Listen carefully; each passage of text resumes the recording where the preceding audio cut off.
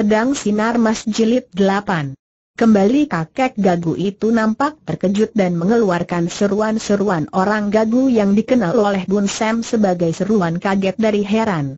Kemudian kakek itu menjadi tambah bersemangat saja menghadapi Bun Sam dan kegembiraannya memuncak. Bahkan kini mulai tertawa-tawa. Akan tetapi yang mengherankan Bun Sam, pukulan Soan Hang Pelek Jiu agaknya juga tidak mempan terhadap kakek yang lihai ini. Dan pada saat ia mengeluarkan pukulan yang ketujuh, tiba-tiba kakek itu menerima pukulan ini dengan dadanya, tanpa mengelak atau menangkis, bahkan lalu mengulurkan tangan kanannya menangkap Bun Sen. Pukulan itu tepat mengenai dada kakek itu. Pukulan Soan Hang Pelek Jiu benar-benar hebat, dan biarpun kakek itu tenaga luakangnya jauh melebihi Bun Sam namun ia tak dapat menahan pukulan ini dan terpental mundur sampai tiga tindak. Kemudian ia batuk-batuk tanda bahwa biarpun tidak terluka berat namun pukulan ini terasa juga olehnya dan dapat membobolkan benteng pertahanannya yang kuat.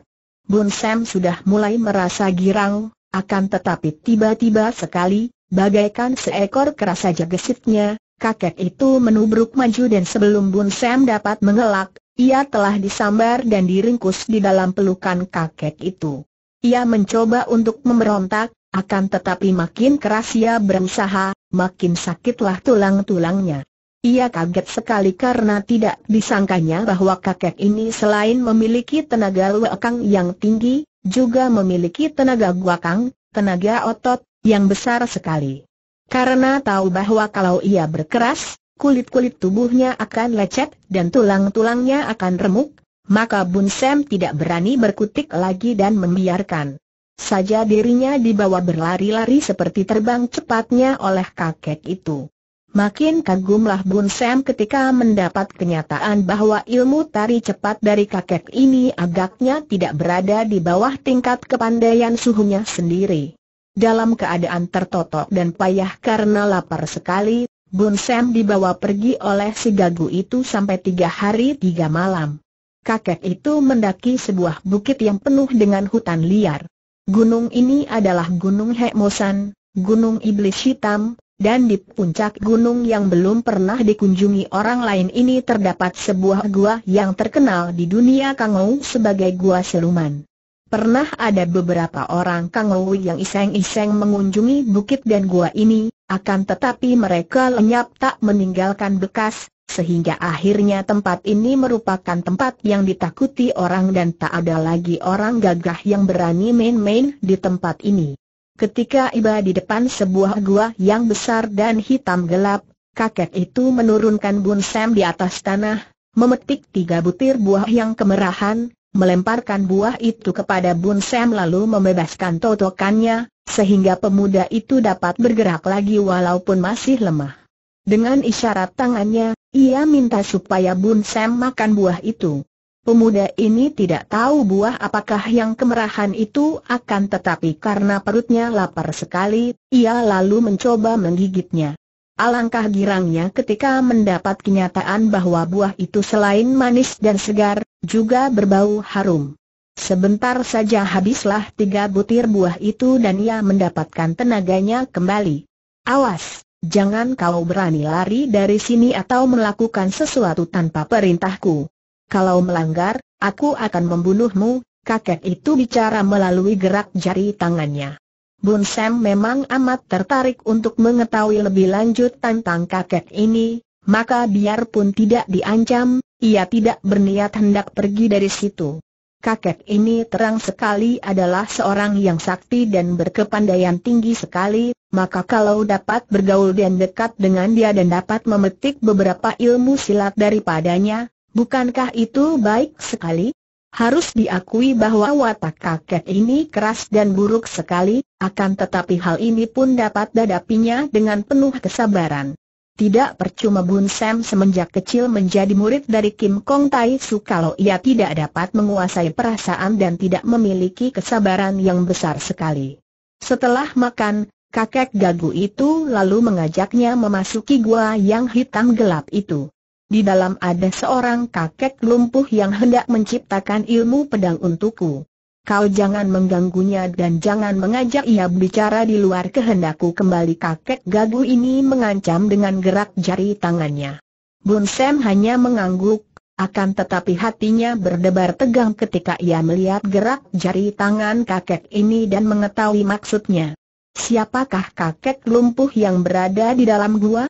Mendengar bahwa kakek lumpuh itu hendak menciptakan ilmu pedang ia menduga-duga. Apakah kakak itu yang disebut oleh suhunya sebagai Raja Pedang? Dan untuk inikah gerangan kakek gagu itu mencuri pedang pusaka dari dalam istana kasar? Gua itu selain luas dan gelap menghitam, juga ternyata dalam sekali. Setelah meraba-raba maju sampai kira-kira sepuluh tombak dalamnya, mereka berhadapan dengan dinding batu karang. Kali ini diketahui oleh Bun Sam dengan rabaan tangannya. Tiba-tiba, entah bagaimana Carol membukanya, terbukalah sebuah pintu di dinding batu itu. Pintu yang hanya dapat dimasuki oleh tubuh satu orang yang tidak terlalu gemuk. Kakek itu memberi isyarat sutnya Bun Sam masuk lebih dulu, baru kemudian ia masuk di belakang pemuda itu dan menutupkan pintu tanpa dilihat oleh pemuda itu. Ketika Bun Sam mengerling, ia tidak melihat lagi adanya pintu.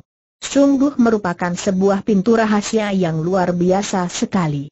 Mereka berjalan terus dan kini di ruang ini tidak gelap seperti tadi, melainkan terang, mendapat penerangan matahari yang bersinar turun melalui lobang-lobang di sebelah atas. Jalan berliku-liku diapit oleh tebing batu karang yang tingginya tak dapat diukur lagi, seakan-akan kedua tebing di kanan kiri itu menyundul langit.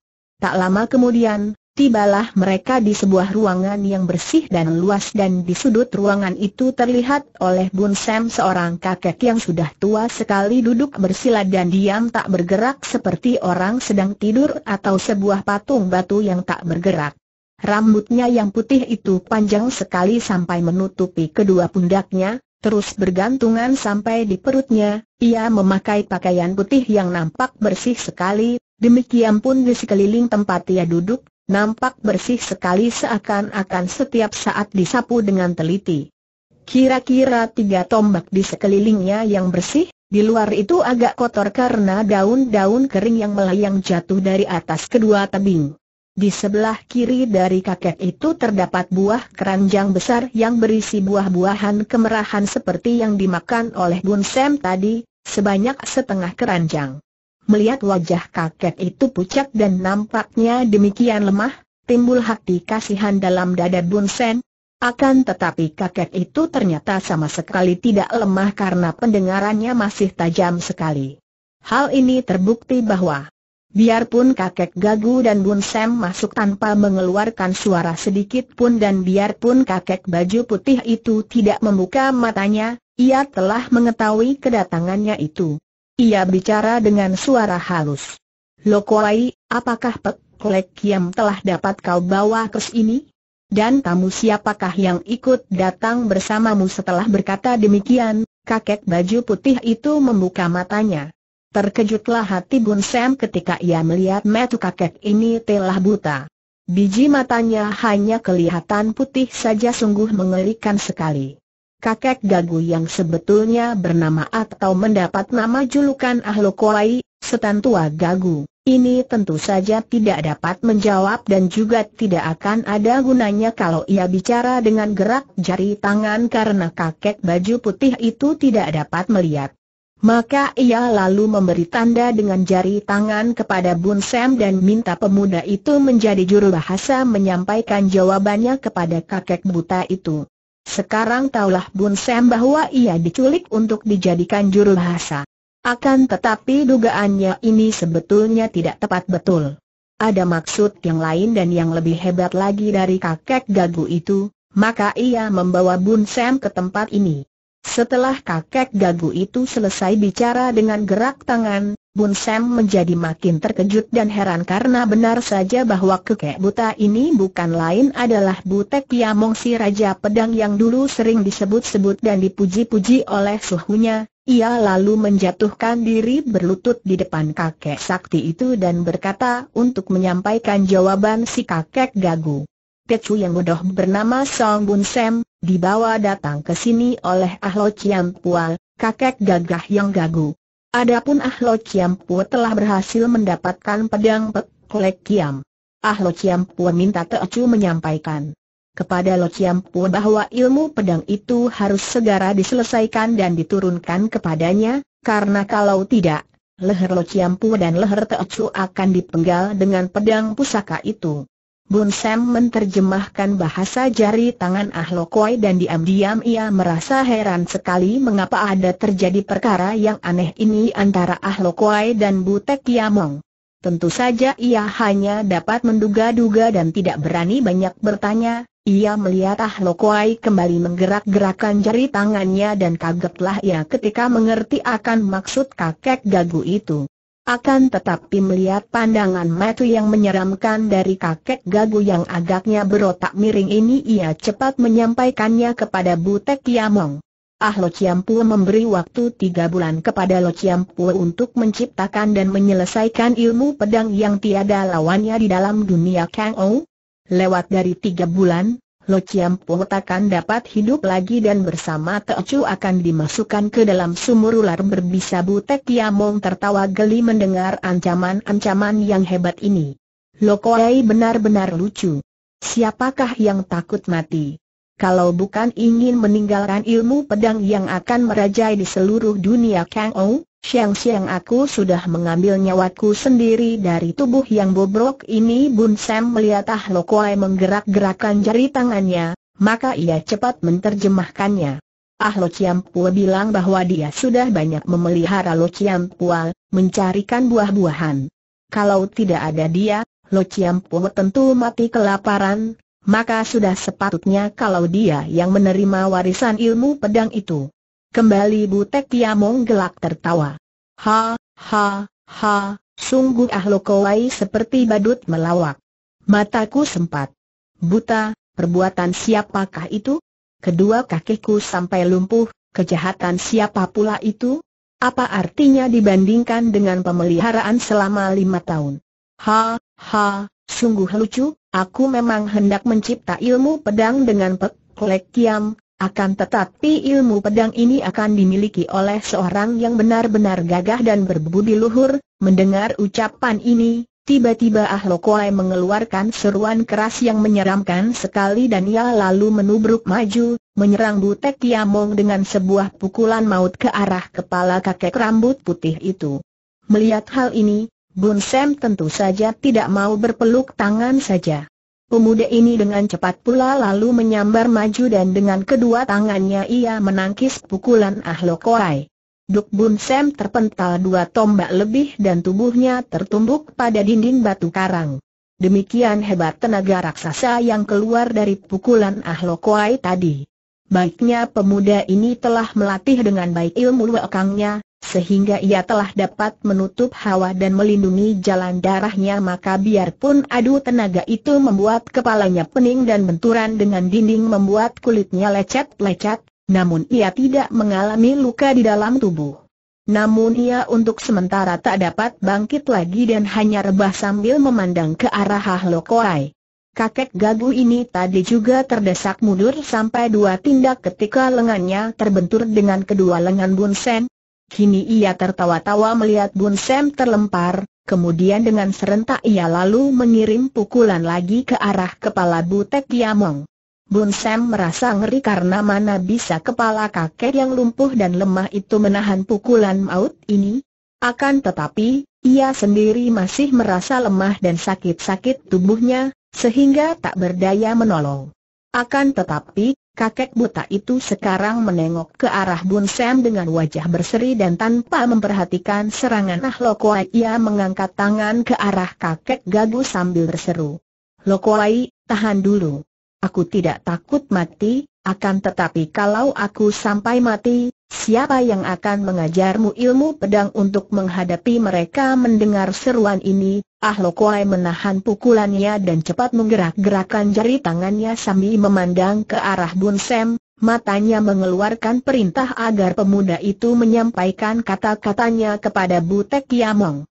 Si Gagu bertanya, Apakah Lo Chiampu suka menurunkan ilmu pedang itu kepadanya kata Bun Sam yang kini tidak menyebut Ah Lo Chiampu lagi kepada kakek Gagu, melainkan menyebut si Gagu saja. Tentu, tentu, Butek Yamong berkata dan wajahnya makin berseri girang. Aku berjanji untuk mengajar ilmu pedang kepadanya, akan tetapi harus diketahui bahwa ilmu pedang yang hendak kuciptakan ini sedikitnya harus dilatih selama tiga tahun, dan setelah aku memberi janjiku, ia pun harus berjanji takkan mengganggu anak muda ini Ahlo Kuai menjadi girang dan mengangguk-angguk puas sambil menyeringai. Dia setuju, Lo Chiampo kata Bun Sen, tanpa memperdulikan lagi kepada Ahlo Kuai Butek Yamong lalu mengeluarkan tangannya ke arah Bun Sen sambil berkata, Anak muda kau majulah ke sini, biarkan aku meraba muka dan tubuhmu. Dengan tubuh masih terasa sakit-sakit, Bun Sam lalu menghampiri kakek itu dan berlutut di depannya. Butek Kiamong lalu mengulurkan tangannya, meraba-raba kepala, muka, kedua lengan dan pundak Bun Sam sambil mengangguk-angguk puas. Semua ini dilihat oleh Ahlo Koi dengan mata tajam. Ia memperhatikan betul-betul dan merasa khawatir kalau-kalau kedua orang itu akan membuat persekutuan diam-diam. Akan tetapi Butek Yamong tidak menyatakan sesuatu hanya bertanya. Anak muda, namamu Song Bun Sen? Bagus, sekarang katakan, apakah kau tadi bukan melakukan gerakan dari Kim Kong Talek Jiu ketika menyambut pukulan Ahlo Koi Bun Sen terkejut sekali. Bagaimana seorang buta dapat menduga gerakan pukulannya ketika ia menangkis pukulan Ahlo Koi tadi? Benar, Lo Chiam Pual, Memang Chu adalah murid dari Kim Kong Tai Su, pada saat itu Ahlo Kuai menggerak-gerakan tangannya dan Bun Sam berkata, si Gagu memberitahukan bahwa selain menjadi murid Kim Kong Tai Su, Chu juga menjadi murid dari Mobin Sin Kun. Hal ini memang ada betulnya, karena Chu pernah menerima latihan ilmu pukulan dari Mobin Sin Kun, mendengar ucapan itu Butek Yamong menjadi makin girang, ia menepuk-nepuk pahanya dan berkata ah, Tahulah aku sekurang mengapa Lokoi membawamu ke sini. Bagus, bagus agaknya Lokoi hendak berusaha benar-benar untuk mengalahkan Kim Kong Tai Su dan Mo Bin Sin Kun. Ha, ha, ha, kakek buta ini lalu tertawa terbahak-bahak seperti orang yang merasa geli dan juga gembira.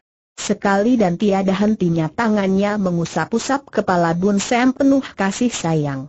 Mendengar kata-kata dan melihat sikap kakek ini, timbul keheranan dan juga rasa simpati terhadap Butek Yamong dalam hati Bun Sen.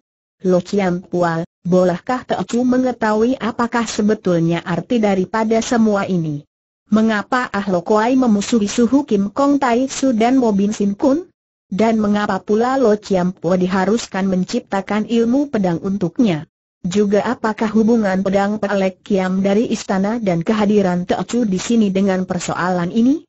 Teocu merasa bingung sekali Lo Ciampu dan mohon penjelasan, Butek Yamong menarik napas panjang, lalu menjawab, kalau Lo Koai menyetujui, baru aku dapat menceritakan semua kepadamu. Bun Sam, Bun Sam lalu berkata dengan gerak jari tangannya kepada Ah Lo Koai. Aku telah kau paksa ikut ke tempat ini dan aku berada di dalam kekuasaanmu.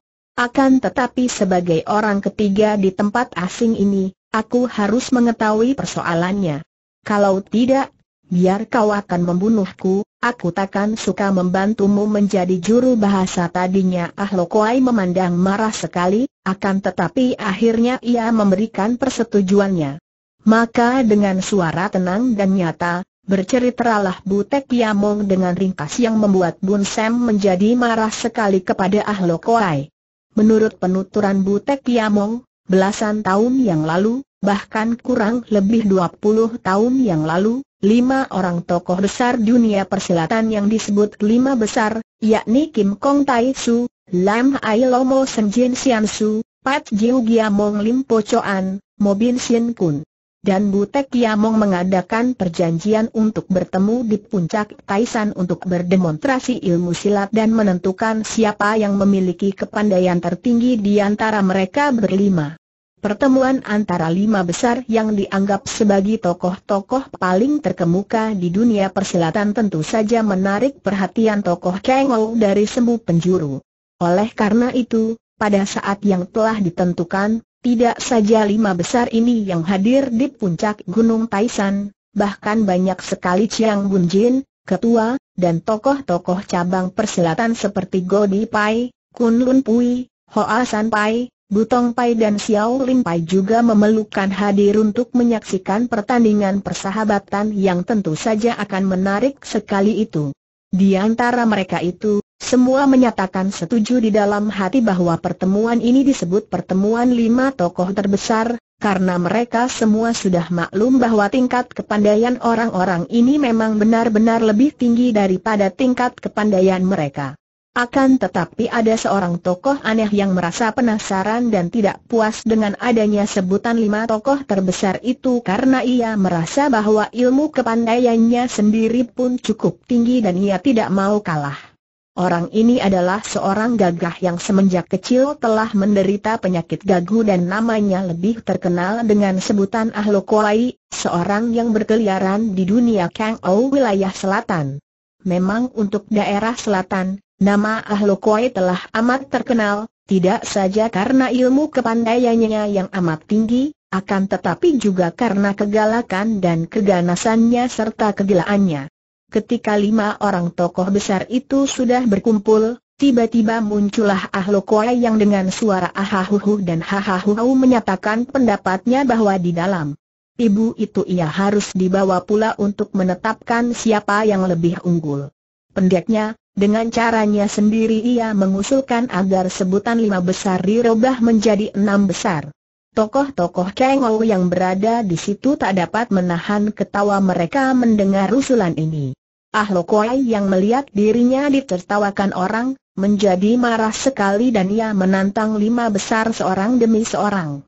Untuk menjaga nama mereka, Lima tokoh terbesar tentu saja menerima tantangan ini dan Lam Ai Lomo Sian Su yang berwatak jenaka itu bahkan menyatakan bahwa kalau tidak dapat mengalahkan Ahlokoi dalam sepuluh jurus lebih baik mundur saja dan jangan menyebut diri menjadi seorang di antara lima besar. Pendeknya, kepandaian Ahlokoi hendak dijadikan bahan ujian. Majulah mereka seorang demi seorang menghadapi Ahlokoi dan benar saja. Ahlokoi dijatuhkan lima kali oleh lima besar itu dalam pertempuran kurang dari sepuluh jurus. Riuh rendah sorak dan ejekan para tokoh Kengou yang dilontarkan kepada Ahlokoi dan orang gagu ini dengan perasaan malu sekali lalu meninggalkan puncak Taisan kemudian ia dilupakan orang.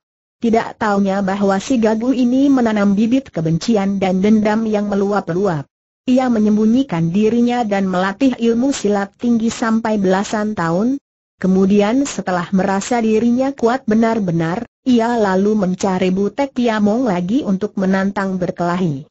Akhirnya, di kaki Gunung Hekmosan, ia dapat bertemu dengan Butek Kiamong yang sudah lama mengasingkan diri di tempat sunyi ini, tidak mau mencampuri urusan dunia ramai. Melihat kedatangan Ahlokoai, Butek Kiam Ong memberi nasihat-nasihat, akan tetapi si gagu itu tetap saja penasaran dan menantangnya untuk mengadu kepandaian karena ia hendak menebus kekalahannya yang dahulu belasan tahun yang lalu. Bukan main ramainya pertempuran antara mereka.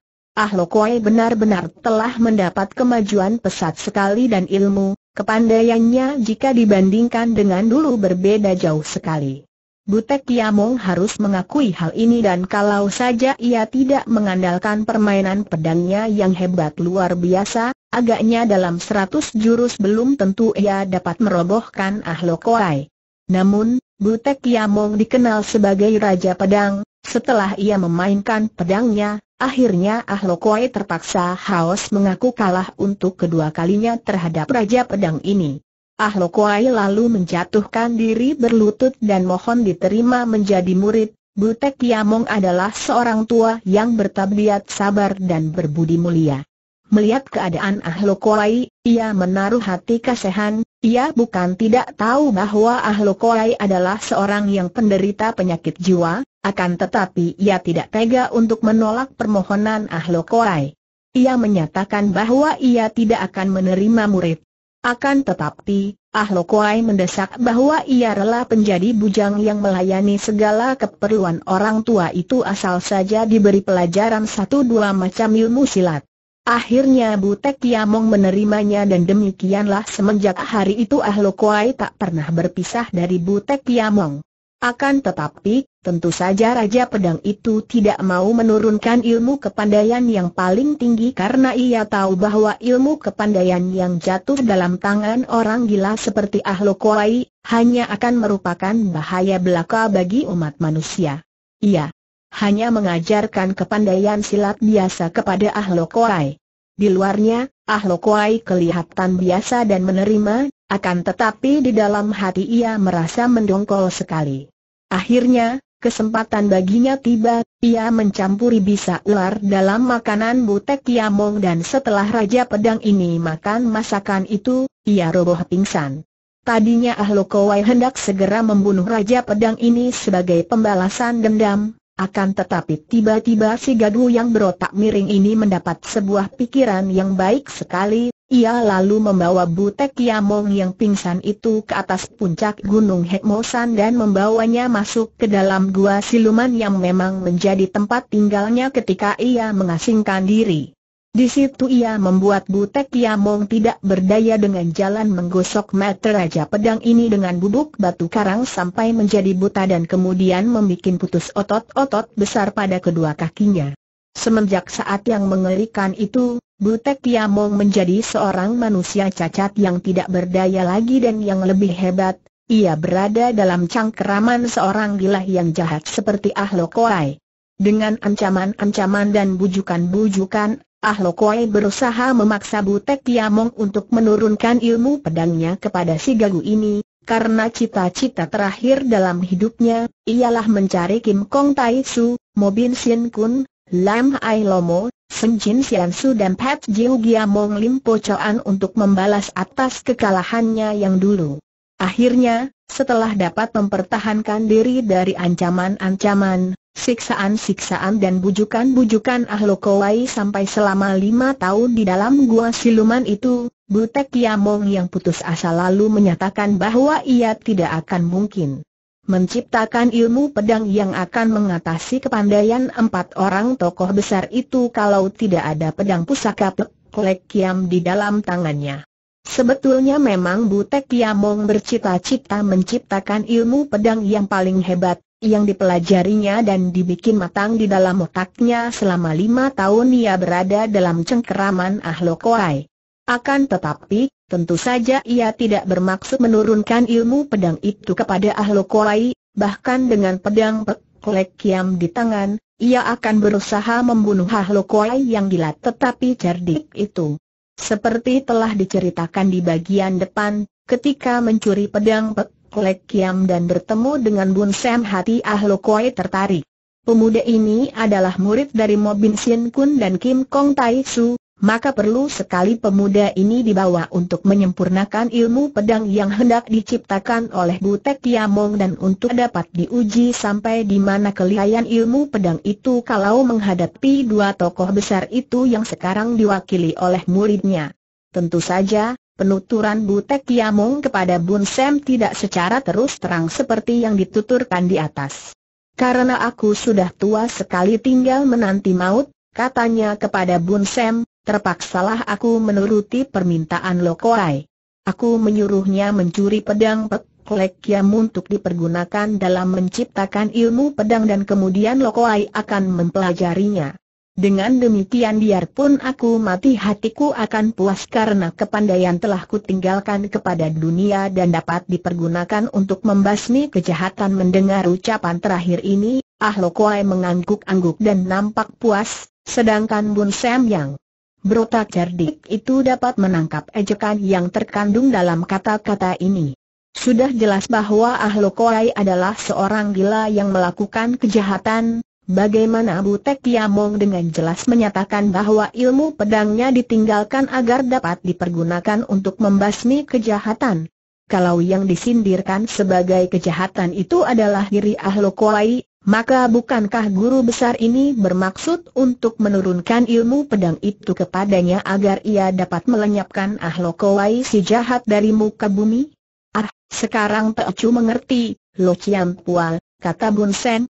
Jadi Teocu dibawa ke sini agar ilmu pedang itu dapat disesuaikan dengan ilmu silai yang Teocu dapat dari kedua guru Teocu, sehingga dapat mengatasi kepandaian mereka. Ahlokoi menggerakkan jari tangannya dan berkata, Memang kau harus membantu, kalau tidak, kau akan kulemparkan ke dalam sumur ular. Adapun Butek Yamong lalu menepuk-nepuk punggung Gun Sam sambil berkata, untuk menyempurnakan ciptaan ilmu pedangku, aku mengandalkan bantuanmu, orang muda, Bun Sam terkejut sekait ketika punggungnya ditepuk-tepuk, karena ternyata bahwa kakek buta itu dapat tahu bahwa ia menyembunyikan pedang di dalam bajunya di bagian punggung. Pedang tipis kecil pemberian suhunya, yakni bedang Kim Kong Kiam. Dari ucapan itu terang bahwa Butek Kiamong mengharapkan bantuannya, tentu saja untuk membasmi Ahlokoi yang jahat. Teocu bersiap sedia, membantu, suhu, ia sengaja mengubah sebutan Lo Chiampu menjadi suhu atau guru, untuk memberitahukan kepada Butek Yamong bahwa ia diam-diam telah mengangkat guru kepada kakek ini. Baiknya Ahlo Kuai tidak memperhatikan perubahan sebutan ini, karena kakek gagu yang gila ini telah menjadi demikian gembira mendengar percakapan antara Butek Yamong dan Bun Sam sehingga ia menari-nari kegirangan di dalam gua itu. Sungguh pemandangan yang amat menyeramkan. Ketika Butek Yamong minta pedang Pek Klek Kiam, Ahlo Kolai merasa ragu-ragu untuk memberikannya, akan tetapi akhirnya ia memberikan pedang itu melalui tangan Bun Sam sambil menyuruh pemuda ini menyampaikan ancamannya.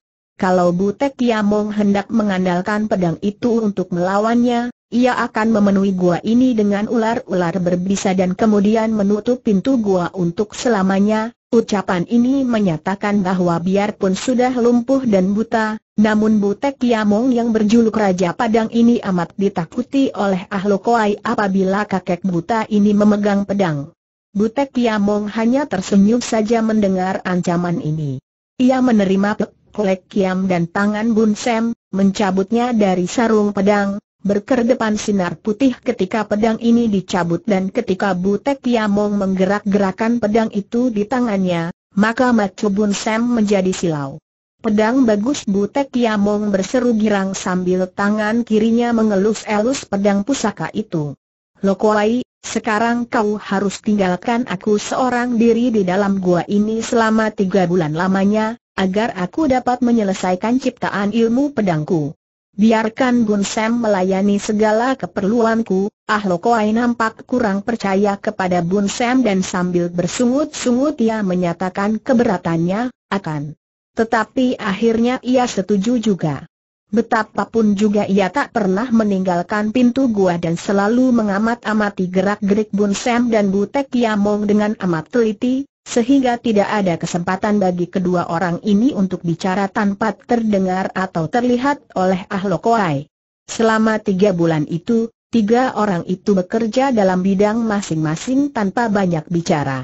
Pekerjaan Butek Yamong hanya menggerak-gerakan pedang, berkemak-kemik, berpikir-pikir dan kadang-kadang mencoret-coret dengan pedangnya di atas tanah di depannya atau kalau badan lelah ia lalu bersama di pekerjaan Bun Sam melayani kakek ini, keperluan makan dan minumnya dan biarpun diam-diam pemuda ini memperhatikan gerakan dan coret-coret yang berbentuk aneh sekali, juga coret-coret itu berbentuk aneh, huruf bukan lukisan pun bukan. Ah Lokowai selama tiga bulan itu selalu menjaga dengan teliti sekali, ia hanya mau tidur kalau melihat Bun Sam sudah pulas, atau kalau ia lelah sekali ia lebih dulu menotok pemuda ini membuatnya tidak berdaya, barulah ia tidur di luar gua. Tentu saja Bun Sam amat mendongkol, akan tetapi apakah dayanya? Kepandaian kakek gagu itu benar-benar berada di sebelah atas tingkat kepandaiannya sendiri dan seandainya ia melawan, itu berarti ia hanya akan mencari kematian sendiri, mungkin kematian yang amat menyeramkan, Ia pernah melihat sumur yang penuh dengan ular-ular berbisa itu dan membayangkan dengan hati ngeri betapa hebatnya kalau sampai terjerumus ke dalam sumur neraka itu. Tiga bulan terlewat dengan cepatnya dan seakan-akan tidak terasa bagi Butek Yamong. Akan tetapi terasa amat lama bagi Bun Sam yang hidup seperti di dalam penjara. Gua itu tertutup oleh sebuah pintu rahasia dan biarpun sudah beberapa kali ia mencoba untuk mencari Rahasia pintu ini, sia-sia belaka. Juga terasa amat lama bagi Ahlokoi yang sudah tak sabar lagi ingin cepat-cepat mewarisi ilmu pedang yang sedang dirangkai oleh Butek Yamong si Raja Pedang. Akhirnya Butek Yamong memanggil Ahlokoi dan Bun Sam menghadap. Ilmu pedangku sudah selesai, katanya, dan ilmu pedang ini akan menjagoi di seluruh dunia asal saja berada di tangan seorang yang berhati mulia, lekas ajarkan kepadaku, kata Ahlokoi dengan jari tangannya yang segera disampaikan kepada kakek rambut putih itu oleh Bun Sen. Boleh, boleh, nah lihatlah baik-baik. Jurus-jurus pertamaku sesuaikan dengan ilmu pedang dari Kim Kong Tai Su untuk dapat mengimbangi ilmu silat dari orang tua itu. Lihatlah, Ahlokoi, Ilmu pedang Kim Kong Tai Su yang berdasarkan ilmu silat Kim Kong Talek Jiu Huat yang paling lihai adalah bagian dari jurus ke-13 sampai 17.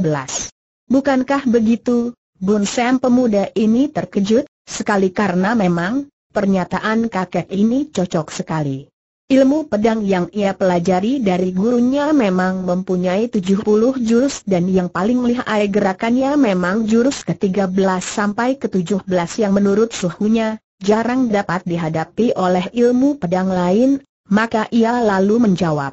Ucapan suhu tidak salah sedikit pun juga, nah, Lo Kuai, kau perhatikan baik-baik. Aku sengaja memilih jurus yang terlihat dari calon lawanmu, sehingga kau takkan dapat dikalahkan.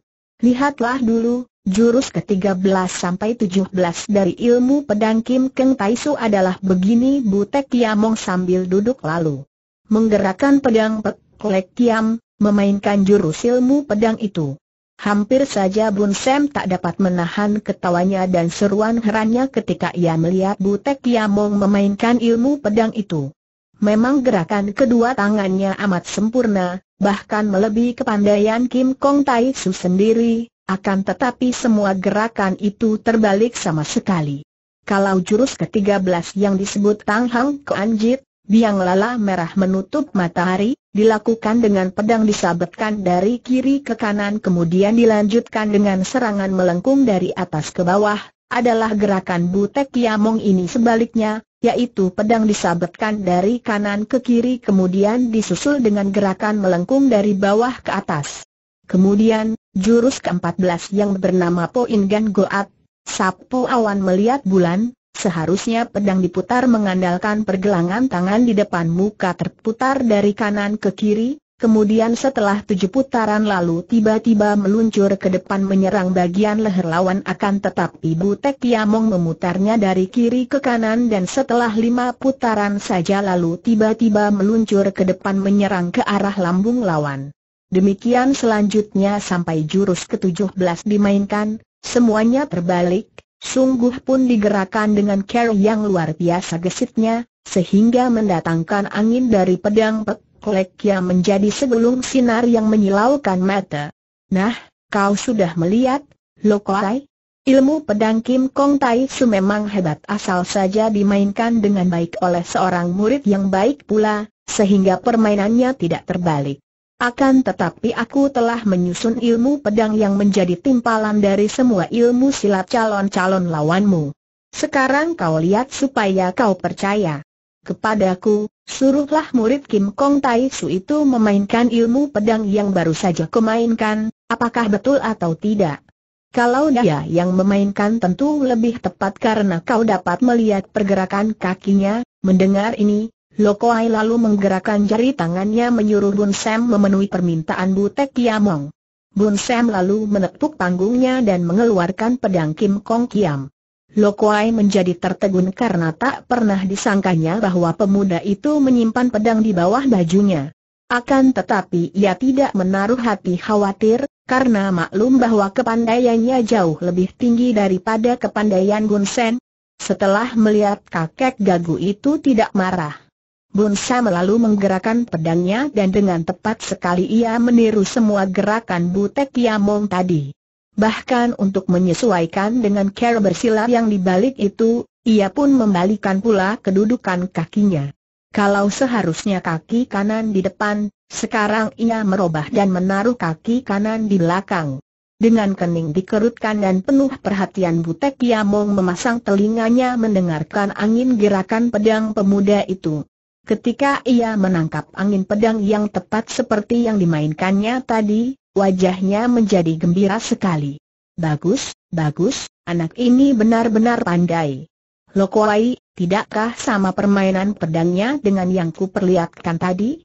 Nah sekarang perhatikanlah baik-baik jurus-jurus pertama sampai ke sepuluh dari ilmu pedangku, yang sekaligus dapat mengatasi lima jurus ilmu pedang Kim Kong Tai Su yang kasaksikan tadi.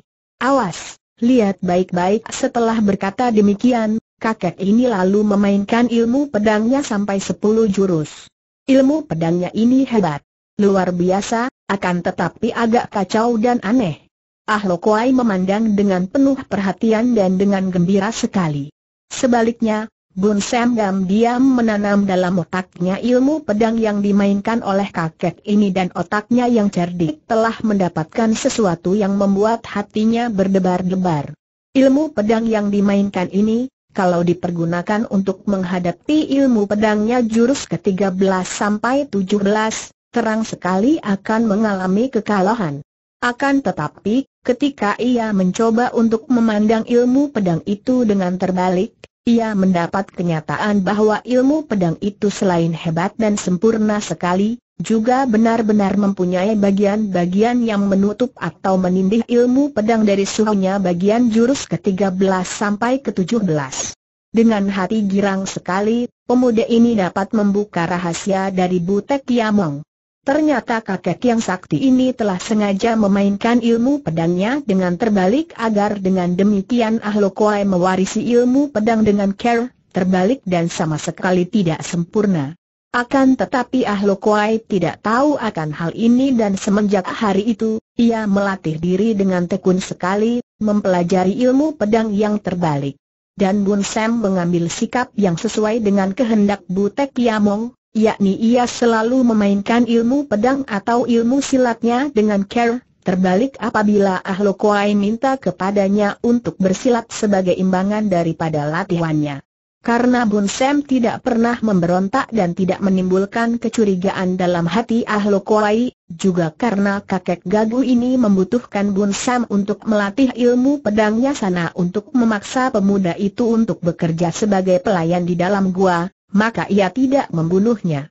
Dengan hati-hati sekali, di waktu Ahlo Kuai tidur, Bun Sam diam mempelajari ilmu pedang ciptaan Butek Yamong, akan tetapi bukan seperti Ker Ahlokoe mempelajarinya, sebaliknya ia sengaja mempelajarinya dengan terbalik. Oleh karena tidak leluasa dan tidak dapat melatih diri, khawatir diketahui oleh Ahlokoai, maka pelajaran ini amat lambat majunya. Sebaliknya, Ahlokoai yang amat bernafsu untuk menguasai seluruh ilmu pedang yang semuanya berjumlah 102 jurus ini, berlatih dengan terburu-buru dan semua jurus-jurus itu seakan-akan ditelannya saja. Dalam setahun saja ia telah dapat mempelajari dan memainkan 102 jurus dengan lengkap. Adapun Bun Sam di dalam setahun itu baru mempelajari 30 jurus saja, itu pun hanya dihafal di dalam otak, tidak dapat dimainkan dengan pedang. Setelah menamatkan pelajarannya, Ah Lokoai tadinya hendak membunuh saja Butek Yamong dan Bun Sem, akan tetapi tiba-tiba otaknya yang tidak waras ini mendapat sebuah pikiran yang amat baik, ia memang agak curiga kepada Butek Yamong atas pelajaran ilmu pedangnya, hanya ia tidak dapat membuktikan bahwa kakek rambut putih itu mempermainkannya. Oleh karena itu ia hendak mencoba dulu ilmu pedang itu untuk melawan seorang di antara lima tokoh terbesar. Maka ia lalu menyatakan kepada Bun Sam bahwa ia hendak pergi tak lama dan diminta supnya pemuda itu suka melayani segala keperluan Butek Yamong.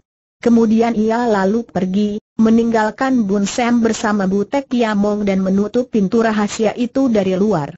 Setelah Ahlokowai pergi, Bun Sam lalu menjatuhkan diri berlutut di depan Butek Yamong. Suhu, terima kasih atas segala petunjukmu tentang ilmu pedang itu. Dan mohon petunjuk selanjutnya, karena sekembalinya Ahlokowai tentu kita akan dibunuhnya Butek Yamong mengelus-elus kepala Bun Sen. Anak baik, aku girang sekali kau datang memang itulah yang kuinginkan, maka aku menyuruh Lokoi mencuri pedang di kota raja, yakni untuk menarik perhatian seseorang, hingga aku dapat menurunkan ilmu pedangku kepada yang patut menerima, jangan kau khawatir, muridku yang baik. Kau tentu telah mengerti bahwa Lokoi mempelajari ilmu pedang itu secara terbalik, Pecu mengerti, Suhu, bahkan diam-diam telah mempelajari ilmu pedang itu dari jurus pertama sampai jurus ke-30 dalam carry yang betul. Sayangnya Teocu tidak mempunyai kesempatan untuk melatihnya, bagus, bagus. Aku telah menduga demikian. Kalau tidak memiliki kecerdikan seperti itu, kau tidak pantas mewarisi ilmu pedang yang kunamakan T.E. Chun Liok Kiam Sut, 6 MMU pedang lingkaran bumi. Biarpun kau baru mempelajari 30 jurus dan itu pun hanya kau keat saja, teori, namun itu berarti bahwa kau lelah hampir menguasai dua bagian daripada enam ilmu pedang ini. Ketahuilah, sebetulnya pada pokoknya, ilmu pedang yang kuciptakan ini hanya terdiri daripada enam bagian. Setiap bagian dipecah menjadi 17 jurus, dengan demikian semua menjadi 102 jurus. Setiap bagian sedikitnya harus dipelajari sampai matang betul dalam waktu setengah tahun. Jadi untuk menyempurnakan seluruh ilmu pedang ini, membutuhkan waktu tiga tahun. Kau telah memiliki dua bagian yang empat bagian dapat kau pelajari dalam waktu dua tahun. Sekarang, coba kau mainkan dua bagian pertama itu untuk kudengarkan apakah ada yang keliru. Bun Sam lalu mengeluarkan Kim Kong Kiam dan mulailah ia bersilat menurut pelajaran yang diam-diam telah dilafalkannya. Gerakannya tentu saja kaku karena tidak pernah dilatih, akan tetapi setelah memainkan 10 jurus lebih, ia mulai dapat menguasai kelincahan ilmu pedang itu dan Butek Yamong menjadi gembira sekali. Bagus, kau patut benar menjadi muridku kaulah kelak yang akan mewarisi T.E. Choan Liok Kiam Sut dan biarpun aku harus mati sekarang, aku tidak penasaran lagi, Bun Sam menjatuhkan diri berlutut dan berkata dengan sedih. Akan tetapi, suhu, kita harus ingat bahwa masih ada Ahlokoai yang tak lama lagi tentu akan datang dan membunuh kita kalau ia mendapat kenyataan bahwa ilmu pedang yang dipelajarinya itu sebetulnya tidak ada gunanya sama sekali belum tentu ia akan kembali, Bun Sen. Ia hendak menggunakan ilmu pedang yang dipelajarinya itu untuk mengalahkan seorang di antara lima besar. Tentu ia akan kalah dan roboh binasa, Bun Sam menggelengkan kepalanya. Kalau dia mencari Mobin Sin Kun, atau Lam Ai Lomo, atau Pet Jiu Giamong, mungkin ia takkan diampuni dan roboh binasa. Akan tetapi kalau ia bertemu dengan Suhu Kim Kong Tai Su, ia pasti takkan dibunuh dan diperbolehkan pergi lagi setelah dikalahkan, Butek Yamong menarik napas panjang. Memang gurumu itu sejak dulu berhati lemah. Apalagi membunuh Hahlo Kuai, membunuh seekor cacing saja menjadi pantangan besar bagi Kim Kong Taisu. Akan tetapi jangan kau gelisah, muridku. Kau sekarang berlatihlah baik-baik dengan ilmu pedang yang telah kau hafal itu. Dengan tiga puluh jurus yang kau miliki saja, Lokoai agaknya takkan mampu mengalahkanmu. Lagi pula, suhu seandainya Lokoai tidak kembali, bagaimana kita keluar dari tempat ini? Pintu rahasia itu amat sukar dicari dan sampai sekarang Teocu belum dapat membukanya. Lokoai memang jahat sekali, Butek Yamong menghela napas, memang gua ini tempat sembunyinya dan aku sendiri pun tidak tahu bagaimana harus membukanya. Sudahlah jangan pikirkan hal itu lagi. Sebelum pergi Koi telah meninggalkan buah-buahan tiga keranjang penuh, cukup untuk dimakan satu bulan lamanya. Sekarang jangan pikirkan apa-apa, lekas kau berlatih ilmu pedang sebaiknya demikianlah, dengan amat tekun dan tak kenal lelah Bun Sam lalu melatih diri dengan ilmu pedang Te Choan Liok Kiam Sut itu, di bawah pengawasan suhunya yang baru. Selama setahun berada di dalam gua, tubuh Bun Sam menjadi kurus dan kulitnya menjadi agak pucat karena kekurangan cahaya matahari. Akan tetapi batinnya mendapat kekuatan baru yang timbul daripada kepahitan dan penderitaan hidup. Kadang-kadang, dan ini merupakan gangguan terhebat baginya, terbayanglah wajah Sian Hwa dan akhirnya ia maklum bahwa lama hidupnya ia takkan dapat melupakan gadis itu, dan kesedihan ini selamanya takkan dapat meninggalkan ruang dadanya. Dua puluh hari kemudian, Tiba-tiba pintu gua itu terbuka dan Ahlokoai muncul dengan muka pucat. Pakaiannya yang compang-camping itu lebih tidak karuan lagi. Tangannya memegang pedang Pek Kiam dan dadanya terluka, mengeluarkan darah. Bun Sam menghentikan latihan ilmu pedangnya dan memandang dengan dada berdebar. Pedang Kim Kong Kiam masih terpegang di tangannya. Juga Bu Tek Kiamong mendengarkan dengan penuh perhatian dan wajahnya menegang. Setelah melompat masuk, Ah Lokuai menjadi demikian marah sehingga ia lupa untuk menutupkan pintu gua kembali. Ia memaki-maki dengan bahasa jari tangannya yang bergerak-gerak cepat sekali. Dengan teliti Bun Sam memandang gerak jari tangan itu dan taulah ia bahwa kakek gagu ini benar-benar dikalahkan oleh Lem Ai Lomo, ia menuduh Butek Yamong menipu dirinya dan tiba-tiba ia menghampiri kakek itu. Kau telah menipuku, tua bangka. Oleh karena itu kau harus mampus di dalam sumur ular setelah berkata demikian ia mengeluarkan sehelai tambang sutra yang kuat sekali dan sekali ia mengayunkan tambang itu, benda itu melihat tubuh Butek Yamong dan mengikatnya, kemudian ia menyeret tambang itu, sehingga tubuh kakek itu terseret ke arah sumur ular. Butek Yamong yang lumpuh dan buta itu tidak berdaya, akan tetapi biarpun ia terseret keadaan tubuhnya masih duduk bersila. Ah Lokoi harus mengeluarkan seluruh tenaganya untuk menyeretnya terus dan tak lama kemudian tubuh Butek Yamong telah berada di pinggir sumur ular yang mengerikan itu. Bun Sam yang semenjak tadi melihat dengan kedua mata, terbelalak tak dapat menahan kemarahannya lagi. Ia berlaku nekat dan berseru. Lokuai, jangan kau membunuh guruku sambil berseru demikian, ia menyerang Ah dengan pedang Kim Kong Kiam. Ah Lokuai marah sekali.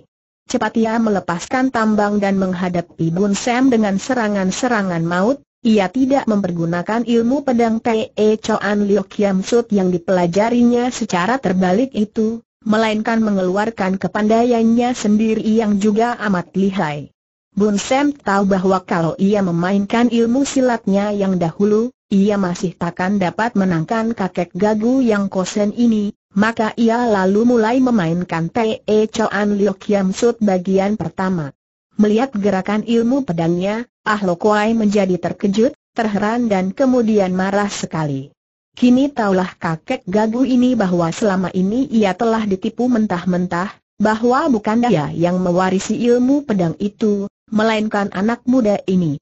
Maka ia lalu memutar pelek kiam dan menyerang kalang kabut dengan nekat sekali. Dalam hal ilmu pedang, setelah menguasai sebagian dari P.E. Choan Liok Kiam Sut, tentu saja Bun Sam lebih unggul, akan tetapi ia masih kalah jauh dalam hal Kang maupun Ginkang, maka sebentar saja ia menjadi terdesak hebat. Hanya ilmu pedangnya yang luar biasa saja yang membuat ia masih dapat bertahan sampai 50 jurus. Beberapa kali ia terhindar daripada bahaya maut ketika pedang Pek Kiam menyambar-nyambar bagaikan kilat di atas kepalanya. Adapun Butek Kiamong memiringkan kepala memasang pendengarannya baik-baik untuk mengikuti jalannya pertempuran ini, ia mengerti bahwa muridnya terdesak hebat dan akhirnya tentu takkan dapat bertahan lagi, maka ia lalu berseru. Bun Sam, lekas kau melompat ke belakangku memang pada saat itu Bun Sam sudah payah sekali, didesak hebat dan hanya dengan kegesitan saja ia dapat menghindarkan diri dari bahaya, berlompat-lompatan ke sana kemari, akan tetapi tentu takkan lama lagi pedang Klek Kiam yang tajam menamatkan riwayat hidupnya. Ketika mendengar seruan gurunya, ia lalu melompat ke belakang dan bersembunyi di belakang Butek Kiamong. Sekali saja Butek Kiamong mengulur tangan, maka pedang Kim Kong Kiam telah ia rampas dari tangan Bun Sen. Pada saat itu, Ah Lokoi telah menjadi marah sekali dan menubruk maju sambil menyerang Butek Kiamong. Nampak sinar keemasan berkelebat dan tahu-tahu Ahlo Kuai menjerit kesakitan dan pedang Pek Klek Kiam terlempar ke atas lantai. Sebelum pedang itu jatuh ke dalam sumur ular, Butek Kiamong telah mengulur pedang Kim Kong Kiam dan berhasil memukul pedang Pek Klek Kiam itu ke samping. Bun Sam cepat melompat dan mengambil pedang itu. Ahlo Kuai makin marah. Tangan kanannya yang tadi memegang pedang kini telah berdarah, tergores oleh pedang Kim Kong Kiam yang tadi digerakkan secara luar biasa sekali oleh Butek Kiamong. Ia melihat Butek Kiamong memegang pedang Kim Kong Kiam dan Bun Sam memegang pedang Pek Kolek Kiam ia menghadapi dua orang lawan yang tangguh dan bersenjata. Akan tetapi saking marahnya, kakek gagu ini menjadi nekat. Sambil mengeluarkan suara seperti seekor binatang buas yang amat menyeramkan, ia menubruk ke arah Butek Kiamong, sama sekali tidak memperdulikan keselamatan dirinya sendiri. Butek Kiamong tidak tega untuk menusukkan pedangnya maka ia dapat terpegang pundaknya oleh Ahlokoai. Si kakek gagu menarik sekuat tenaga, hendak melemparkan Butek Kiamong ke dalam sumur ular sedangkan kakek rambut putih itu mempertahankan diri. Mereka saling membetot, dan akhirnya Ahlokoai yang sudah nekat sekali itu bahkan hendak mengajak Butek Kiamong bersama-sama memasuki sumur ular itu. Butek Kiamong hampir kalah tenaga karena maklumlah kedua kakinya sudah lumpuh. Untuk menyerang kakek gagu ini dengan pedangnya memang mudah sekali, akan tetapi ia tidak sampai hati melakukan hal ini. Melihat betapa keadaan suhunya amat terancam, Bun Sam lalu melompat dan sekali ia menusukkan pedangnya ke arah pergelangan tangan Ahlo Kuai, pegangan Ahlo Kuai terlepas. Karena ia tadi mempergunakan seluruh tenaganya membetot, maka kini setelah pegangannya terlepas, tubuhnya terhuyung-huyung ke belakang dan tak dapat dicegah lagi ia terjeblos ke dalam sumur itu. Bun Sam cepat menutup kedua telinganya agar jangan mendengar jeritan-jeritan orang gagu yang amat mengerikan itu. Adapun Butek Tiamong memejamkan kedua matanya sambil menutup kedua telinganya dengan bersamadi. Akhirnya tidak terdengar suara apa-apa lagi. Ular-ular di dalam sumur telah menamatkan riwayatnya Ahlo Koai.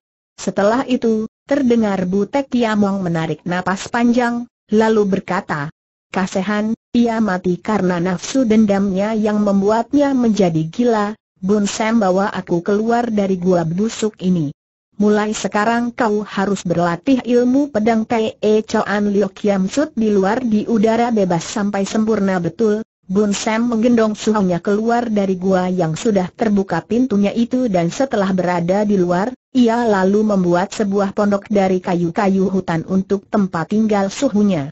Dan mulai hari itu, di puncak Bukit Hekmosan, di luar gua siluman Bun Sam melatih ilmu pedang Pei Choan Liok Kiam Sut di bawah pengawasan suhunya.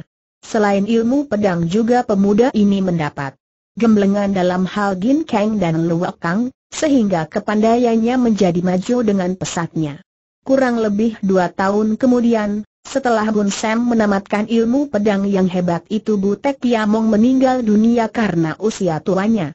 Sebelum menghembuskan nafas terakhir, kakek sakti ini berpesan kepada Bun Sam untuk mengembalikan pedang Pek Kolek Kiam kepada Kaisar di kota Raja. Kalau aku tidak salah, kakek sakti yang sudah mendekati ajalnya dan yang agaknya memiliki mata batin yang awas dan waspada itu berkata, sekarang Lam Ailomo dengan bantuan sutenya Pet Jiu Giamong telah mulai memperluas kekuasaannya. Memang semenjak dulu kakek gagu ini mempunyai cita-cita untuk menguasai dunia. Kepandaiannya memang tinggi sekali maka kedua gurumu saja agaknya takkan dapat menahan kemurkaannya. Sudah menjadi kewajiban mulah untuk membendung gelombang kejahatan itu demi untuk ketentraman penghidupan rakyat jelata, Setelah Bun Sam mengubur jenazah gurunya dan berkabung selama tiga hari di hadapan makam suhunya Bun Sam lalu turun gunung. Telah tiga tahun ia berada di puncak Hekmosan itu yakni setahun lebih di dalam gua siluman dan dua tahun di luar gua. Kini ia telah menjadi seorang pemuda yang jauh lebih masak jiwanya daripada dahulu ketika dibawa oleh Ahlokwai ke tempat itu. Usianya telah 20 tahun dan pengalaman pahit getir telah membuat ia menjadi seorang pemuda yang berpemandangan luas dan bersikap tenang, ia merasa rindu sekali kepada dunia ramai, kepada Yap Bo yang menjadi guru juga sebagai suheng dan terutama sekali sebagai pengganti orang tuanya. Juga ia merasa rindu kepada Kim Kong Tai Su dan kedua binatang peliharaannya Xiao Liong dan Sim Tiao yakni ular dan burung Raja Wali di atas Bukit Toei San akan tetapi, yang paling dirindukan semenjak ia berada di Gunung Hekmosan ini bukan lain adalah wajah seorang darah berbaju merah berkembang yang amat cantik manis, wajah dari Sian Hwa pujaan hatinya. Tiap kali wajah itu terbayang di depan matanya Bun Sam menarik napas panjang berkali-kali dan bibirnya berkemak-kemik menyebut nama gadis ini kemudian ia berusaha selalu untuk mengusir bayangan itu. Ia maklum bahwa selama hidupnya ia takkan dapat bertemu dengan gadis itu, karena Sian Hwa telah menjadi calon istri orang lain, bagaimana ia masih dapat mengharapkan untuk bertemu. Sering kali ia mencela kelemahan batinnya sendiri dan mencoba untuk membayangkan wajah gadis lain, terutama sekali wajah Lan Giok gadis manis yang centil nakal itu, akan tetapi tetap saja wajah Lan Giok yang manis tak mampu mengusir wajah Sian Hwa dari lamunannya. Kini ia telah turun gunung. Telah tiga tahun ia lenyap dari dunia ramai. Kemungkinan untuk segera bertemu muka dengan Yap Bo dan orang-orang lain membuat hatinya berdebar gembira dan ia berjalan makin cepat menuruni gunung yang liar itu. Bagaikan seekor Garuda terbang, ia berlompat-lompatan dan berlari turun cepat sekali karena kepandaian gintangnya sekarang sudah meningkat hebat, jauh lebih tinggi daripada ketika ia dibawa naik oleh Ahlokowai tiga tahun yang lalu. Tubuhnya tegap dan berisi, karena setelah tinggal di luar gua ia mendapatkan kesegaran kembali. Wajahnya yang tampan itu kini makin menarik karena terbayang kecerdikan, ketabahan dan ketenangan yang matang pada kedua matanya dan lekuk mulutnya. Hanya pakaiannya saja yang sudah buruk. Sudah habis pakaian itu ditambal-tambalnya selama tiga tahun ini. Di sakunya tidak terdapat sepotong uang pun. Hanya pedang Kim Kong Kiam yang tersembunyi di balik bajunya, sedangkan pedang Pek Klek Kiam juga tergantung di pinggangnya. Akan tetapi selama berada di puncak gunung ia tidak khawatir akan kelaparan karena banyak sekali buah-buahan yang dapat dimakannya di sepanjang jalan. Baik kita tinggalkan dulu Bun Sam yang menuruni Bukit Hekmosan dalam perjalanannya kembali ke dunia ramai dan mari kita menengok keadaan Sian Hwa, gadis yang tak pernah terlupakan olehnya itu. Semenjak pertemuannya yang terakhir dengan Bun Sam, Sian Hwa menjadi yakin bahwa ia tidak mungkin dapat menjadi istri Lin Sui E, suhengnya. Atau juga pemuda yang mana saja, karena ia tahu bahwa kebahagiaan hidupnya hanya terletak dalam tangan Bun Sam yang telah merampas hati dan cinta kasihnya. Ia menjadi makin murung dan berduka dan merasa bahwa hidupnya amat sengsara. Kemurungannya ini membuat ia berhati keras dan mudah marah dan diambilnya keputusan untuk menyelidiki tentang ucapan Go Jiao Weng sebelum orang ini terbunuh oleh Bu Cuci. Beberapa pekan kemudian setelah terjadinya pencurian pedang Pek Klek Kiam yang menghebohkan, Sian Hwa berkemas untuk meninggalkan rumah dengan diam-diam. Ia bermaksud untuk pergi ke Tong Sengkuan, di mana Go Jiao Weng tinggal dan untuk menyelidiki keadaan Go Jiao Weng, terutama di waktu perwira itu masih menjadi pemimpin barisan Ang Bitin yang terkenal. Oleh karena ia maklum bahwa kalau ia bilang terus terang kepada ayah ibunya, ia takkan mendapat perkenan, maka ia bangun dengan diam-diam dan hendak pergi secara sembunyi. Dibawanya sebuntal pakaian dan uang bekal, tak lupa pula dibawanya pedangnya, lalu ia melompat keluar menuju ke taman bunga. keadaan di taman sunyi dan teringatlah ia kepada Bun Sam yang beberapa pekan yang lalu bercakap-cakap dengan dia di dalam hutan itu. Tak terasa lagi dua titik air mata membasahi pipinya dan bagaikan dalam mimpi, ia mengucapkan sajak kuno yang pernah dibacanya, kalau saja kau bukan kau dan aku bukan aku, tentu takkan begini jadinya. Sehati sejiwa, namun kelahiran memisahkan kita, apa daya? Seperti bulan merindukan matahari, matahari mencari bulan sia-sia, tak mungkin bersua muka. Hanya saling pandang merana jauh, terhalang awan. Kembali darah itu menarik napas panjang. Kemudian ia lalu menggerakkan kedua kakinya melompat ke atas dinding tembok yang mengelilingi taman. Tiba-tiba terdengar teguran orang dan beberapa sosok bayangan melompat keluar dari tempat sembunyinya. Mereka ini adalah penjaga-penjaga yang diam-diam ditugaskan oleh Bu Cici untuk menjaga sekeliling taman itu pada malam hari. Memang semenjak melihat bayangan di dalam taman pada malam tercurinya pedang istana, Bu Cici menaruh hati. Curiga kepada anak tirinya, maka diam-diam ia lalu mengatur penjagaan ini.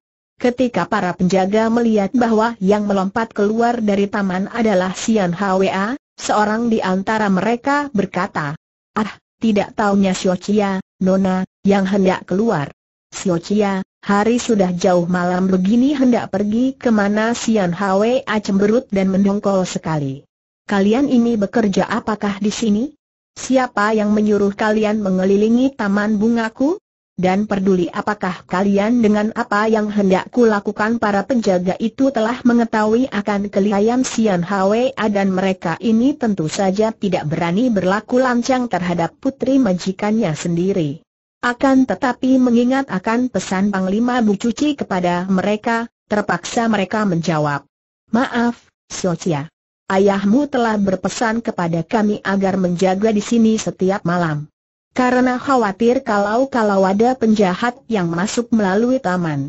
Pedang pusaka di istana saja dapat hilang dicuri orang nona, maka hampir semua gedung pembesar setiap malam dijaga kuat sementara itu, diam-diam seorang di antara para penjaga yang menjadi kepercayaan Bu Cuci dan yang telah mendapat pesan khusus bahwa kalau ia melihat Sian Hwa hendak keluar harus memberi laporan, telah pergi membuat laporan kepada Bu Cuci yang sedang tidur.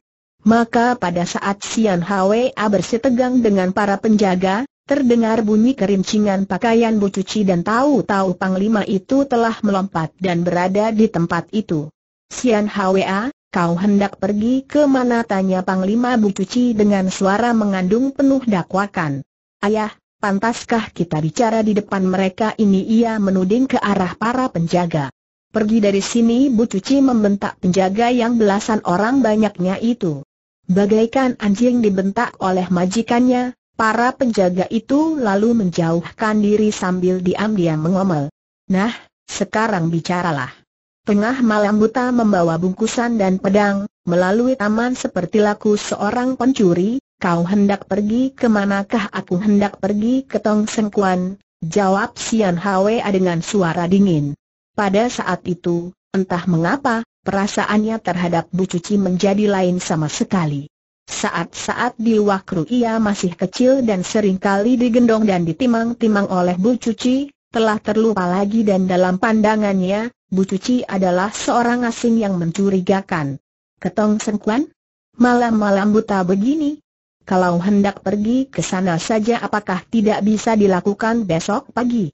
Dan pula kau hendak pergi kepada siapa pandangan matanya tiba-tiba penuh selidik dan ia maju setindak lalu memegang tangan putrinya. Sian Hwa, tentu ada seorang yang menantimu di sana. Ayo kau katakan siapa yang hendak kau jumpai di Tong Seng Kuan dengan sekali renggut, Sian Hwa melepaskan tangannya yang terpegang oleh Bu Cuci. Panglima Mongol yang pendek ini menjadi murah sekali dan membanting-banting kaki kanannya. Sian Hwa, beginikah sikap seorang anak terhadap ayahnya? Kau tidak boleh menyimpan sesuatu rahasia kemudian suaranya melembut seperti seorang ayah memberi nasihat kepada puterinya yang tersayang. Sian Hwa, kau masih muda dan belum berpengalaman, jangan kau main-main dengan orang Kang Ou. Kau mudah tergelincir dan terjebak dalam perangkap orang jahat, maka beritahukanlah kepada ayahmu apa yang kau alami, sehingga aku dapat memberi jalan dan nasihat yang baik. Kini sepasang mata gadis itu memancarkan sinar berapi ketika ia memandang kepada Bu Cuci. Ayah, bukan aku yang menyimpan sesuatu rahasia, melainkan engkau sendirilah. Juga ibu. Aku tidak suka diriku diselimuti oleh rahasia, maka aku hendak membongkar rahasia itu. Eh, eh, Sian Hwa, apakah kau mengimpi? Apa yang kau maksudkan dengan kata-katamu itu? Rahasia apakah yang ku simpan bersama ibumu? Jangan kau menuduh yang bukan-bukan nak, tidak baik seorang anak mencurigai orang tua, itu namanya putau, tidak berbakti ayah, tidak ada gunanya berpura-pura lagi. Aku bukan anak kecil dan selain memiliki mata yang dapat melihat, aku pun mempunyai pikiran, ayah telah membunuh Go Jiao Weng Wei Hai Siong, pada saat Go Jiao Weng sedang membuat pengakuan bahwa adalah yang menjadi pembunuh ayahku.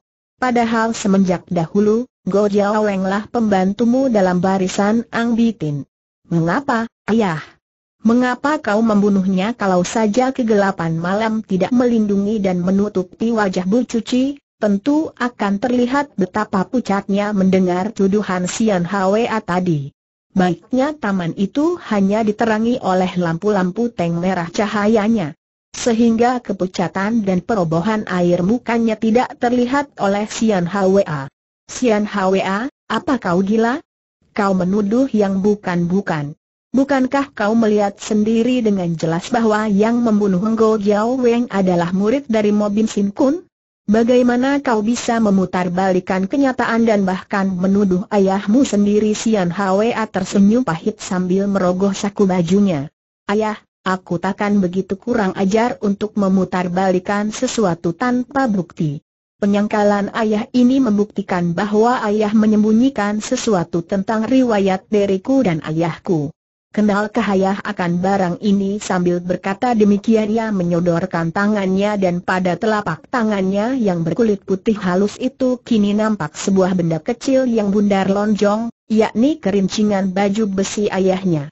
Apa, apa artinya ini? Sian Hwe atanya dicuci sambil memandang ke arah benda yang dikenalnya baik itu. Apa artinya? Ayah, kaulah yang harus menjawab apa artinya ini dan mengapa kau mempergunakan senjata rahasia ini untuk menewaskan Gero Jiaweng yang sedang membuat pengakuannya. Kau agaknya tidak mau membiarkan Gero Jiaweng membuka rahasia yang sengaja hendak kau tutup-tutupi.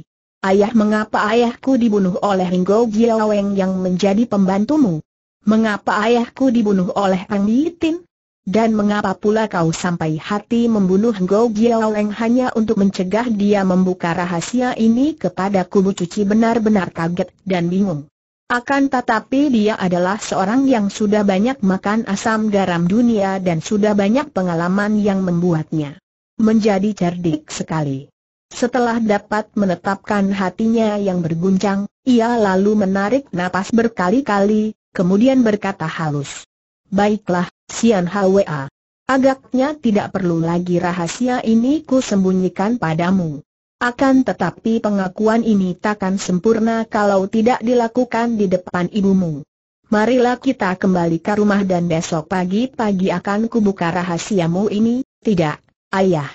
Harus sekarang, sudah terlalu lama aku bersabar kau bukalah rahasia itu sekarang juga tanpa mengganggu ibu yang sedang tidur, atau kalau kasungkan aku pun takkan memaksa. Aku dapat menyelidikinya sendiri Bu Cuci menghela napas lagi. Hem, kau benar-benar keras kepala. Kau sendiri yang memaksa minta penjelasan, baiklah, jangan salahkan aku kalau kau mendengar kenyataan-kenyataan yang pahit bagimu. Ayahmu adalah seorang kausu, guru silat, si Ken yang membantu pemberontak. Ayahmu membantu perwira pemberontak yang jahat maka oleh Ang Bitin ia dianggap sebagai penjahat pula dan tewas dalam pertempuran. Yang merobohkan ayahmu itu memang Go Jiao Weng.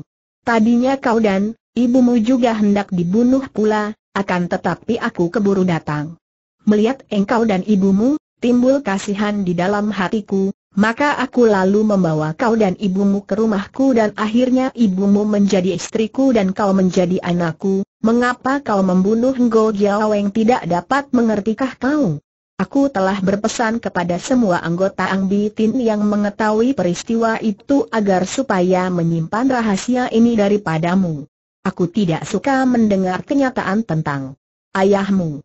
Go Eng melanggar pesanku dan demi kesayanganku kepadamu, aku membunuh orang yang memang sudah akan mati itu, kau, Kau memaksa ibu menjadi istrimu tanya Sian Hwa dengan wajah pucat karena hati kecilnya menyatakan bahwa tak mungkin ibunya yang cantik jelita itu suka kepada seorang perwira pendek yang telah membunuh suami ibunya.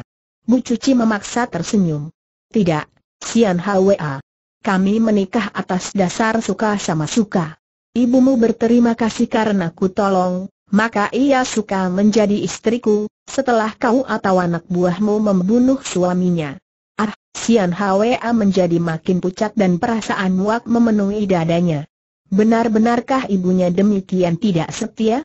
Ayahnya dibunuh oleh Ang Bitin, sedangkan Bu Cuci adalah seorang pemimpin Ang Bitin, akan tetapi toh ibunya suka menjadi istri Bu Cuci.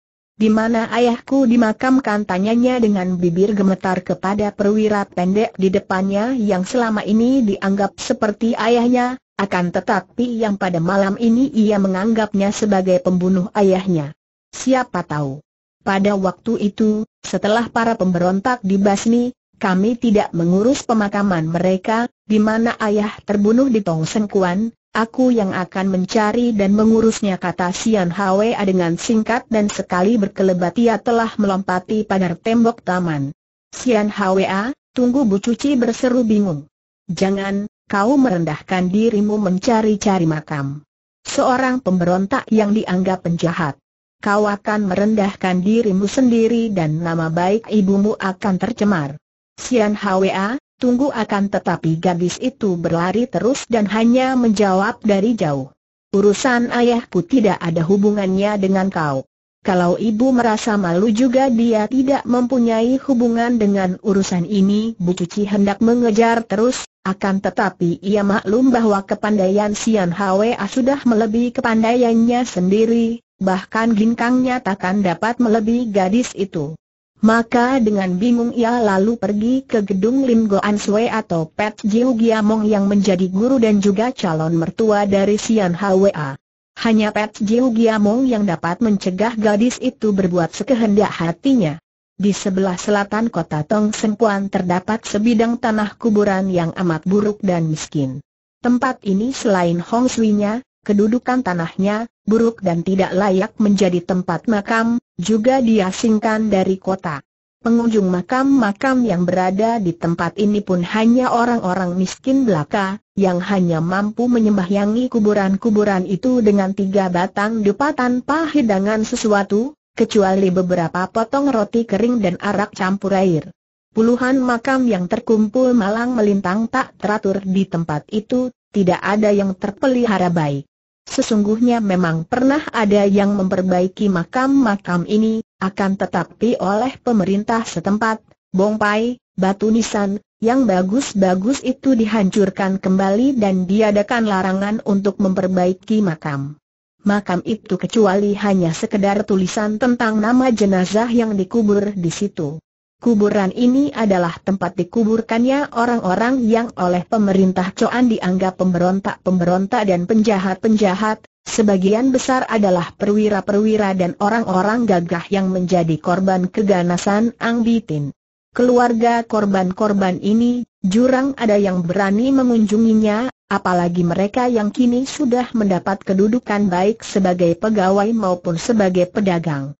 Memang berbahaya sekali kalau mengunjungi tempat ini, karena sekali saja pembesar setempat mengetahui bahwa hartawan itu mempunyai keluarga yang di kuburan itu, tentu ia akan diperasnya habis-habisan, dengan ancaman bahwa kalau tidak mau memberi suapan ia akan dilaporkan sebagai keluarga pemberontak yang harus diawasi atau ada kemungkinan ditangkap. Oleh karena inilah, maka pengunjung dari kuburan itu hanyalah orang-orang miskin yang bagi para pembesar setempat merupakan tulang-tulang kering yang tak dapat diisap lagi. Atau ada juga orang-orang kengou yang gagah, orang-orang pengembara yang tidak mudah diperas oleh pembesar setempat, Selain karena kegagahannya juga karena tidak tentu tempat tinggalnya. Pada hari itu, pagi sekali sudah banyak pengunjung di kuburan terasing itu. Tidak mengherankan karena memang hari itu kebetulan hari menyambangi kuburan yang sudah menjadi tradisi bagi orang-orang yang masih menjunjung tinggi aturan lama. Tidak saja kuburan miskin ini yang penuh pengunjung, bahkan kuburan-kuburan para hartawan dan pembesar di tempat lain kuburan yang indah sekali bangunannya, juga penuh pengunjung pada hari itu. Seperti biasa, pengunjung-pengunjung kuburan para pemberontak itu berpakaian biasa dan sederhana, bahkan sebagian besar berpakaian seperti pengemis jembel. Di antara banyak pengunjung ini terdapat pula orang-orang miskin yang dibayar oleh para hartawan yang mempunyai keluarga terkubur di sini, untuk mewakili mereka bersembahyang dan membersihkan rumput yang memenuhi kuburan. Makin tinggi matahari naik, makin banyak orang mengunjungi kuburan ini dan akhirnya hanya ada dua buah makam yang masih belum mendapat kunjungan orang. Dua buah makam ini agaknya memang tak pernah mendapat pengunjung. Karena rumput di situ sudah penuh, sehingga gundukan tanah itu tertutup sama sekali dan di situ tidak terdapat tulisan nama jenazah sama sekali. Hanya bedanya, gundukan tanah yang sebelah kanan berbentuk bundar dan yang kiri segi empat dan nampaknya sudah tua sekali.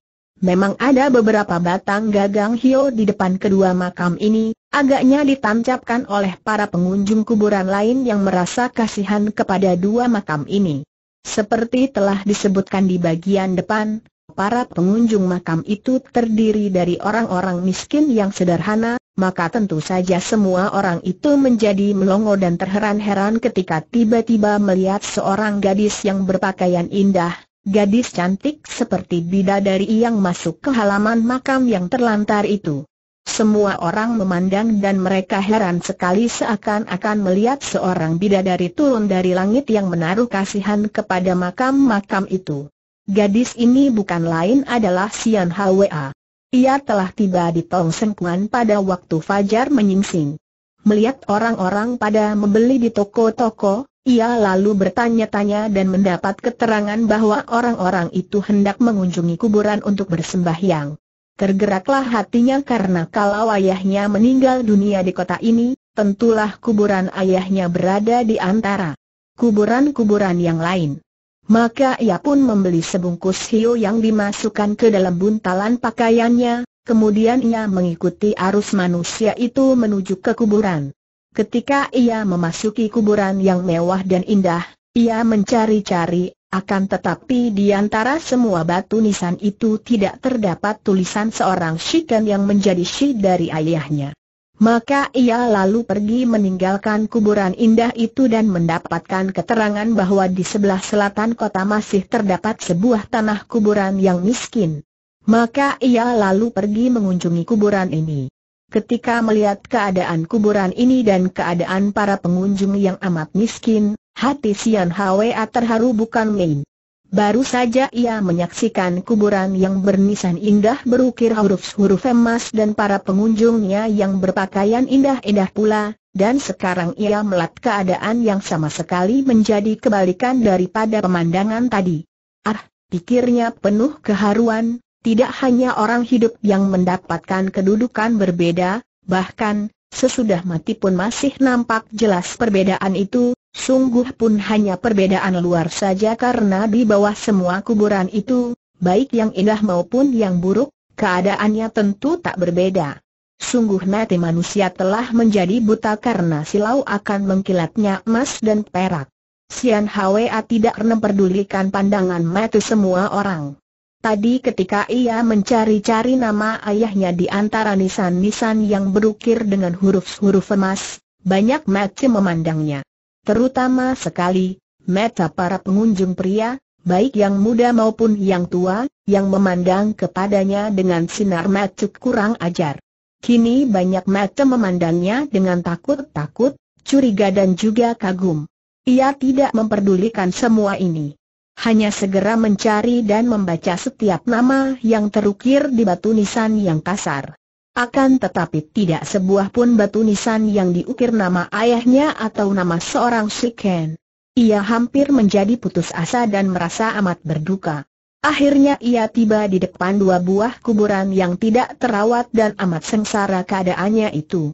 Sian Hwa menjadi amat terharu melihat keadaan dua buah makam yang terlantar ini.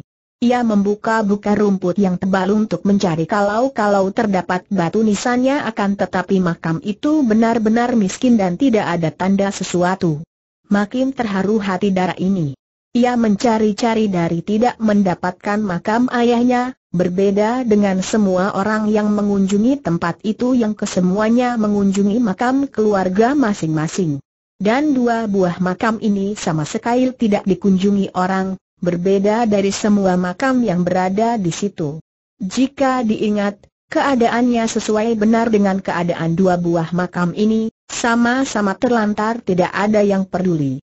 Karena hatinya tergerak sekali, Sian Hwa lalu mengeluarkan hio, dupa, yang dibawanya, ia melihat ke kanan kiri dan ketika melihat seorang kakek sedang bersembahyang di depan kuburan yang berada dekat dengan makam itu, ia lalu minta api kepada kakek itu untuk menyalakan dupanya kemudian ia bersembahyang di depan dua makam itu dan membagi dupanya menjadi dua, yang sebagian ditancapkan di depan makam bundar, yang sebagian lagi ditancapkan di depan makam segi empat. Kemudian ia duduk di dekat makam itu dan melamun. Maaf, Siocia, suara yang halus ini menyadarkannya dari lamunan. Ia menengok dan melihat kakek yang dimintai api tadi.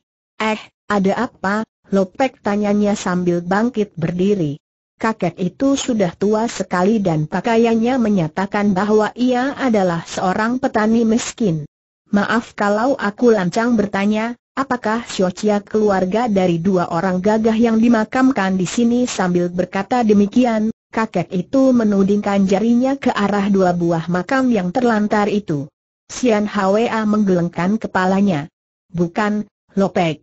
Aku tidak kenal siapa yang dimakamkan di sini dan mengapa pula makam-makam di sini demikian tak terurus dan miskin. Aku hanya merasa kasihan karena dua makam ini sama sekali tidak didatangi pengunjung, kakek itu menghela napas panjang. Demikianlah nasib orang-orang gagah bangsa kita, Socia. Mereka semua yang tertanam di sini dahulunya adalah orang-orang gagah dan perwira-perwira yang berkepandaian tinggi dan berjiwa patriot, yang gugur sebagai pahlawan-pahlawan bangsa. Akan tetapi, kau melihat sendiri, keadaan makam mereka begini buruk, kembali ia menarik napas panjang. Hati Sian Hwa berdebar mendengar kata-kata ini. Tak salah lagi, makam ayahnya tentu berada di kuburan ini, entah yang mana. Ia memandang lagi kepada dua buah makam itu dan sambil menahan nafsu ia bertanya. Lepek, kau mengunjungi makam siapakah makam putra tunggalku, Siocia? Dia dahulu adalah seorang prajurit yang tewas ketika tentara Mongol menyerbu ke sini, dan dua makam yang tidak berbatu ini, kenalkah kau makam siapakah ini sambil memandang kakek itu, Sian Hwa menanti jawaban dengan hati berdebar. Kakek itu mengerutkan keningnya. Mereka ini adalah dua orang yang paling gagah di antara semua yang terkubur di sini, Siocia. Sayang sekali nasib mereka amat buruk, sehingga agaknya mereka sekeluarga telah dibasmi habis oleh Ang Bitin. Ketika mengucapkan kata-kata Ang Bitin kakek itu menengok ke kanan kiri dan bicaranya perlahan sekali, seakan-akan takut kalau-kalau terdengar orang lain. Mendengar ini, hati Sian Hwa makin bergelora, akan tetapi dengan sekuat tenaga ia menekan perasaan hatinya agar tidak menggigil dan suaranya tidak menggetar ketika ia bertanya lagi. Lopek yang baik, kuburan siapakah dua makam ini? Tolong kau beritahukan siapa nama mereka, karena aku benar-benar amat tertarik dan kasihan, melihat kuburan yang terlantar ini, kakek itu menudingkan telunjuknya ke makam yang segi empat. Kuburan ini adalah makam dari seorang perwira yang gagah perkasa, perwira Han yang bernama Song Hak dan yang terbunuh oleh barisan Ang Bitin. Kasihan sekali, dia seorang yang gagah dan mulia, aku pernah kenal padanya dan ia benar-benar seorang yang suka menolong orang-orang lain. Sayang sekali nasibnya amat buruk sehingga ia tewas beserta seluruh keluarganya oleh barisan Ang Bitin. Setelah melihat ke kanan kiri, kakek itu menyambung. Sungguh kejam barisan Ang Bitin yang dipimpin oleh Inggo Jiao Weng.